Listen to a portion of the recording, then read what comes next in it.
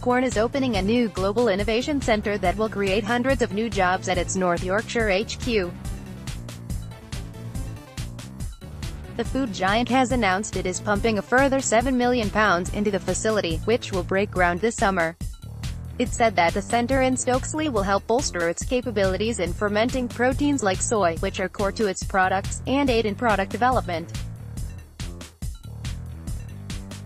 The announcement follows news that the company logged £112 million in sales in the first six months of the year, a jump of 12% from the same period last year.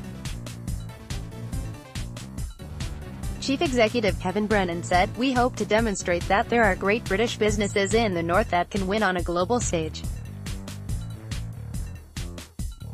We are already seeing amazing growth internationally, Australian sales are up 50% and US sales are up 23%. In the US supermarket giant Kroger, we now have the fastest selling product in the category.